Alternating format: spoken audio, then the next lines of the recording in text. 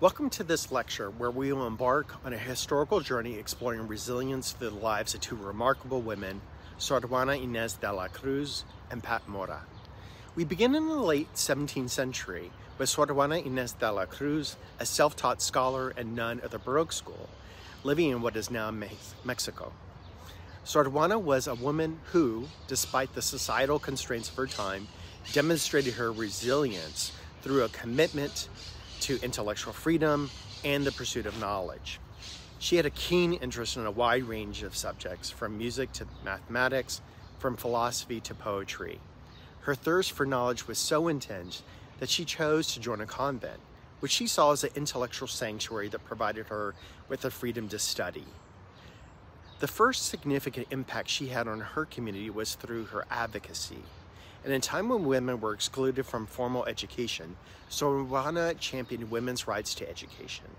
Her most famous work, Reply to Sor Filotea, was a daring defense of women's right to knowledge, a powerful reply to a bishop who criticized her scholarly pursuits. Sor Juana's resilience and her intellectual contributions challenged societal norms, establishing a foundation for feminist thought in Latin America. From the blog site, 14 lines, here is a selection from Sor Juana's 1690 reply to the bishop. Open quote. I do not study in order to write, or even less to teach, which in me would be a colossal arrogance, but rather only to see if by studying I can be less ignorant. This is my answer, and this is what I feel. God graced me with a gift of an immense love for the truth. Since the first light of reason dawned on me, my inclination towards letters was so intense and powerful that neither reprimands by others, of which I have had many, nor self-reflection, of which I have done not a little, uh, had been sufficient for me to stop uh, um, pursuing this natural impulse that God put in me. Therefore, if the evil lies in verses being used by a woman, we have already seen how many women have, have used them commendably. Then what is the problem with me being one? Close quote. I say this was a brilliant question of Sor Juana. Fast forward to the 21st century. We meet Pat Mora, a Latina poet, author and advocate for bilingual literacy.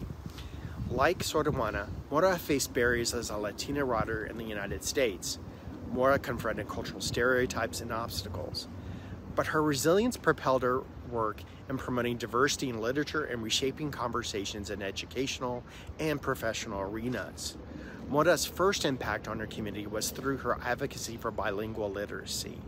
In 1996, she started El Día de los Niños, El Día de los Libros, Children's Day, Book Day, an annual celebration that emphasizes the importance of literacy for children of all linguistic and cultural backgrounds.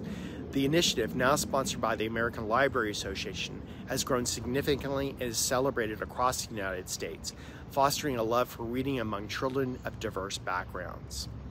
One of Mora's books, Tomas and the Library Lady, beautifully encapsulates community growth and resilience. The story is about Tomas, a young boy from a migrant family who discovers the transformative power of literacy when he meets a kind librarian. The library becomes a sanctuary for Tomas, a place where he can escape the hardships of migrant life and delve into the world of books.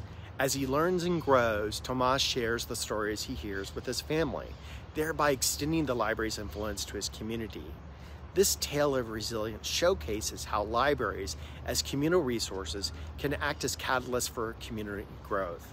Furthermore, the resilience shown by Tomas a young migrant boy navigating a new language and culture demonstrates how individuals can overcome personal challenges, contributing to a resilient community capable of growth, adaptation, and advancement, even in the face of adversities.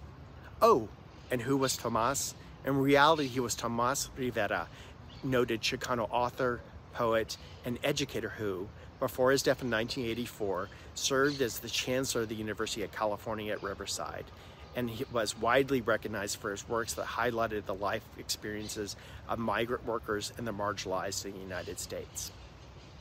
These two women, Sor Juana Inés de la Cruz and Pat Mora, separated by centuries, have shown the transformative power of resilience.